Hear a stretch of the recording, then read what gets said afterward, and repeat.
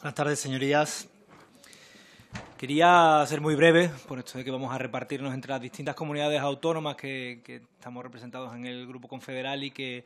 somos copartícipes del interés por, que se lleve a cabo esta obra del Corredor Mediterráneo. Y en mi caso quiero dar dos argumentos de carácter general y uno muy específico de, de, la comunidad autónoma andaluza de la que provengo.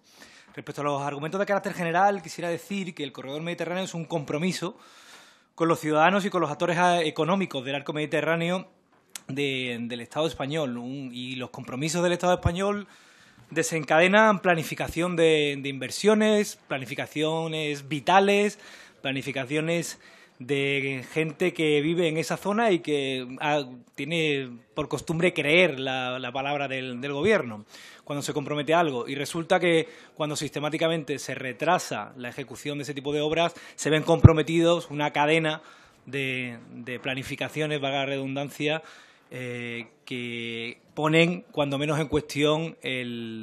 la credibilidad de nuestras instituciones ya gravemente comprometidas. En segundo lugar, quisiera decir que creo que esta es una muy buena oportunidad para acabar con esa lógica centralista de planificación de infraestructuras, según la cual todas las carreteras todos los ferrocarriles y creo que también casi todas las decisiones tienen que pasar por Madrid. Me parece que es una muy buena oportunidad para que la cadena de valor eh, que se puede generar eh, con el encadenamiento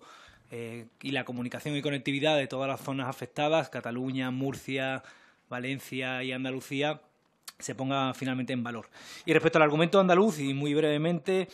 eh, creo que a nadie se le escapa que es una comunidad autónoma especialmente afectada y golpeada por el desempleo y una infraestructura de este tipo que la vertebraría a sí misma por en el plano horizontal como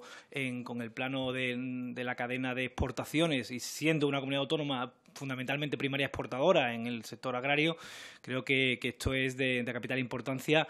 eh, especialmente también en lo que refiere a, a un puerto muy concreto, estaba por ahí el señor Salvador también, que, le afecta, que es el puerto de Algeciras, es el principal puerto del Mediterráneo en tráfico de contenedores y llevamos un siglo, o sea, lleva un siglo, no yo en particular, pero sí un siglo en esta comisión y en este congreso discutiendo sobre la necesidad de mejorar esa obra. Creo que ya va siendo hora de que, de que se atiendan esas peticiones. Muchas gracias.